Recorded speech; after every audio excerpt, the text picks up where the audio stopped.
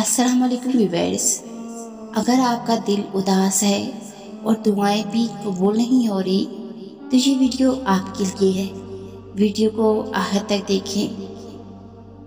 हो सकता है तुम्हारा बार बार मांगना अल्लाह की तरफ़ से कबूलियत का इशारा हो। हो सकता है जो तुमसे दूर किया गया है, वही बेहतर बना के तुम्हें वापस कर दिया जाए। हो सकता है तुम्हारी आजमाइश का ये आखिरी मुकाम हो। हो सकता है इस आजमाइश के बाद अल्लाह की मदद में तुम तक पहुँच जाना हो। हो सकता है तुम्हारे यकीन कर लेने से ही अल्लाह ने मान जाना हो। हो सकता है अगले कदम पे अल्लाह ने तुम्हारे लिए नया दरवाज़ा खोल रखा हो। हो सकता है इस दर्द के सजदे के बाद तुम्हें अल्लाह मिल जाना हो। हो सकता है तुम्हारे सबर से नसीब ने हार जाना हो। हो सकता है तुम्हारी अधूरी कहानी को अल्लाह ने कौन से मुकम्मल बनाया हो और फिर वो आहिस्ता आहिस्ता तुम्हारे कदमों को अपने जरियों की तरफ़ मोड़ने लगता है। फिर वही ज़रिए तुम्हें तुम्हारी दुआओं की कबूलियत तक ले जाते हैं। मुझसे अचानक से थोड़ी होते हैं। मौजों के लिए तो तुम्हें आजमाइशों से गुजारा जाता है। तब अल्लाह तुम्हारे लिए ज़रिया बनाता है और तुम आहिस्ता आहिस्ता अल्लाह की कुन की तरफ़ बढ़ते चले जाते हो।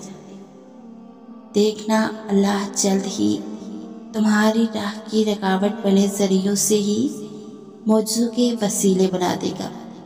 देखना अल्लाह जल्द ही तुम्हारी हाली जोली अपनी रहमतों से भर देगा। देखना जल्द ही अल्लाह तुम्हारा मुकद्दर लम्हों में बदल देगा। देखना जल्द ही अल्लाह तुम्हारी नामुमकिन दुआओं पे कुन फरमा देगा। देखना जल्द ही अल्लाह तुम्हें तड़पते दिल को सुकून से भर देगा। बस तुम सब्र करो, दुआ करो और तवक्ल करो। फिर देखना, अल्लाह तुम्हारा शुमार भी अता वालों में कर देगा। देखना जल्द ही अल्लाह तुम्हारी मर्ज़ी को ही तुम्हारा मुकद्दर बना देगा। देखना जल्द ही तुम्हारे लिए अंधेरों से उजाले पैदा कर देगा। तुम्हारी दुआओं के वसीले से ही तुम मौजों तक पहुँच जाओगे और वो ऐसे वसीले बनाएगा कि तुम सुकून में आ जाओगे। सबर की राह पर चलते हुए तुम शुक्र की मंजिल को पहुँच जाओगे। ये देरी तो असल में इम्तहान है तुम्हारा। वो समेट लेगा तुम्हारे तमाम गम। और तुम बहुत जल्द दिल से मुस्कुराओगे। वो एक पल में मुकद्दर बदल देगा। तुम्हारा और तुम सोचते ही रह जाओगे। रब की कुदरत के जलवे देखकर तुम हैरान रह जाओगी। और जब मांगने की तोफीक मिल जाए तो समझ लो, यही कबूलियत के लम्हात है। नामुमकिन सिर्फ़ तुम्हारे लिए है। अल्लाह की पहुँच में तो तमाम मौजात हैं। क्योंकि कुछ चीज़ें तुम्हारी समझ में कभी नहीं आ सकती। इसलिए अल्लाह ने कुछ जवाब बस खुद तक महदूद रखे होते हैं। क्योंकि कभी कभार तुम्हें भी खबर नहीं होती कि तुमने ऐसे तूफ़ान को ललकार रखा है, जो दरवाजे बंद नज़र आ रहे हैं। उन तक पहुँचना मुमकिन ही है। बस उन तक पहुँचने का रास्ता तुम्हारे सोचे हुए रास्ते से अलग है। जिसने मुकद्दर लिखा है, उसके पास मुकद्दर बदलने के भी इख्तियार हैं। उसके एक हुक्म पे बदल जाएँगे, ये जो तकलीफ़ और गम के जितने भी लम्हात हैं। अल्लाह कभी कभार तुम्हारे इरादों को इसलिए भी नाकाम बना देता है, ताकि वो तुम्हें तुमसे बचा ले। अल्लाह तुम्हारी दुआओं के जवाब इन जरियों से देता है, जो तुम्हारे लिए बेहतर होते हैं। इन जरियों से नहीं, जिन्हें तुम बेहतर समझते हो।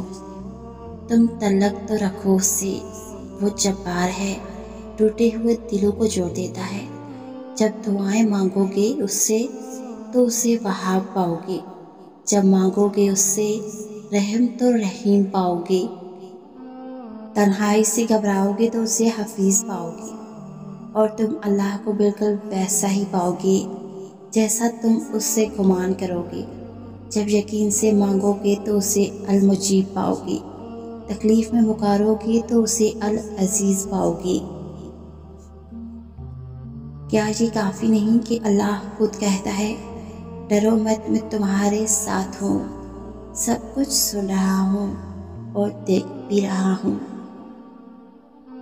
अगर आपको ये कॉल पसंद आए तो इस वीडियो को ज़्यादा से ज़्यादा लाइक और शेयर कीजिए।